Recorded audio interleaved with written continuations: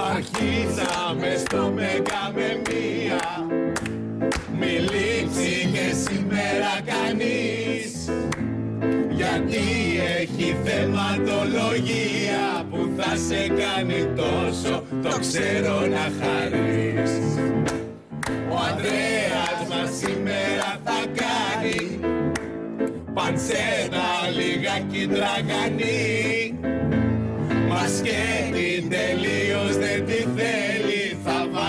βάλει μέσα μήλο να γίνει γεμιστή.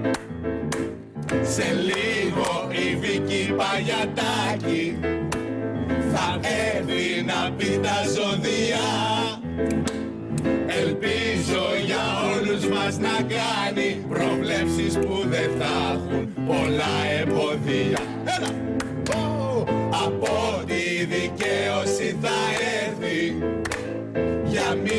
Μία κουβέντα φιλική. Την νίκη η παλικαράκι που στην καρδιά μας έχει θέση μοναδική. Θα έρθει και ο Αδαμαντίδης αργότερα στην παρέα μας. Θα πει τραγουδάκια που μας κάνουν να είμαστε στα όπα και στα ωραία λοιπόν και ελάτε Στον κόσμο αυτόν το μαγικό.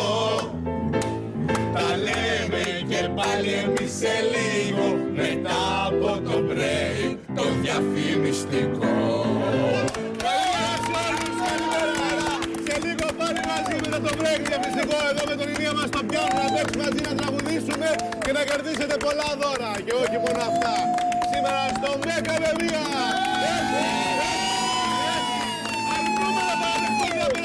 να παραδεχτούμε να περάσουμε καλά σήμερα. Αρνούμε! Αυτό είναι.